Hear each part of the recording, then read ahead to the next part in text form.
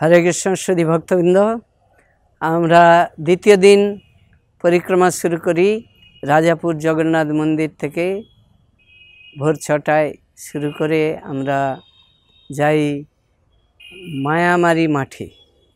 মায়ামারি মাঠ রাস ডান দিকে পড়ে, যেখানে মায়া নামক মায়াসুর ছিল। ওই মায়াসুর উৎপাত করত। যখন বলরাম তীর্থ ভ্রমণে এসেছিলেন, এই স্থানে এসেছিলেন এবং এখানকার অধিবাসীগণ বলেছিলেন যে এই অসুরের কথা। তখন বলরাম সেই অসুরের সঙ্গে যুদ্ধ করেছিলেন এবং সেই অসুরকে বধ করেছিলেন। এই জন্য মায়ামারি মাঠ বলে, কিন্তু এখন স্থানীয় লোকেরা মারামারি মাঠ বলে, যেহেতু বলরামের সঙ্গে এই মায়াসুরের মারামারি হয়েছিল, সেই জন্য মারামারি মাঠ বলে তো এটা হচ্ছে মায়ামারি মাঠ। তারপর সেখানে থেকে আমরা জলঙ্গির নদী পেরিয়ে আমরা গদ্রুম দ্বীপে প্রবেশ করি। গদ্রুম দ্বীপ হচ্ছে কীর্তনাক্ষ ভক্তির পাদপীঠ। নদিয়া গদ্রুমে নিত্যানন্দ মহাজন পাতিয়াছে নাম হট্ট জীবের কারণ। এই গদ্রুম দ্বীপে আমরা জলঙ্গে পেরিয়ে কীর্তন করতে করতে আমরা যাই সুবর্ণ বিহার। এখানে সত্যযুগে সুবর্ণ সেন রাবক এক রাজা ছিলেন এবং যিনি খুব বিষয়ী ছিলেন সবসময় ওই বিষয় নিয়ে মেতে থাকতেন। তো নারদমুনি এসেছিলেন। মহন্ত স্বভাবেই তারিতে পাম, নিজ কার্য নাহি তবু যান পরের ঘর। নারদমুনি শুদ্ধ ভক্ত, ভগবানের বাণী প্রচার করতে করতে এখানে এসেছিলেন।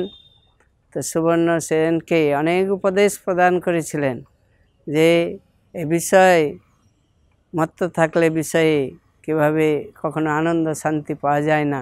প্রেমানন্দ পরমার্থ লাভ করাই হচ্ছে জীবনের উদ্দেশ্য।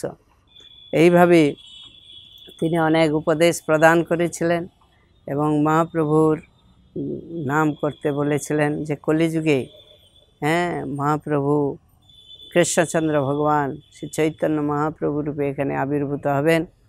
তো সেই তখন হ্যাঁ কথা মতো এই সুবর্ণ সেন রাজা ভগবানের সেবা করেছিলেন, ভজনা করেছিলেন এবং ভগবান বলেছিলেন যে আমি কলিযুগে শ্রী চৈতন্য মহাপ্রভু রূপে আবির্ভূত হব। তখন তুমি আমার কৃপা লাভ করবে। তো সেই সু, সেই সুবর্ণ সেন রাজা হ্যাঁ এই মহাপ্রভুর লীলায় তিনি আবির্ভূত হয়েছিলেন বুদ্ধিমন্ত খান রূপে এবং মহাপ্রভুর বিবাহ লীলায় অনেক সেবা করেছিলেন। লক্ষ্মীপ্রিয়া সঙ্গে যখন বিবাহ হয়েছিল, তখন মহা উৎসব করেছিলেন, সব খরচপাতি দিয়েছিলেন এই বুদ্ধিমন্ত খান তারপরে সেখান থেকে আমরা যাই পঞ্চাননতলা। সেখানে শিবের কথা হয় কিছু। এবং সেখানে, সেখান থেকে আমরা যাই নৃসিংহপল্লী। নৃসিংহপল্লী, যেখানে নৃসিংহদেবের সুন্দর বিগ্রহ রয়েছে, মন্দির।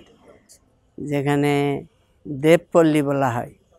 এখানে দেবতারা এসে সেখানে বসবাস করেছিলেন এবং ভগবানের উপাসনা করেছিলেন। এবং নৃসিংহদেব হিরণ্যকশিপুকে বধ করে এসে এই স্থানে বিশ্রাম করেছিলেন।